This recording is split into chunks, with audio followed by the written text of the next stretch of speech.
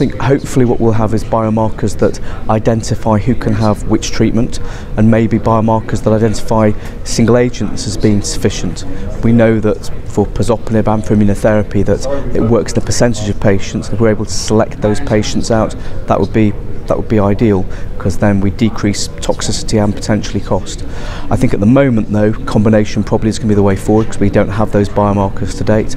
I suspect a combination of a VEGF targeted agent with an immunotherapy, probably a PD1 or a PDL1, is going to be the, the first way, first, is going to be the next step change in first line treatment. Then I think we have to see what else is emerging, particularly on the immunotherapy uh, wave of, of drugs that are coming through.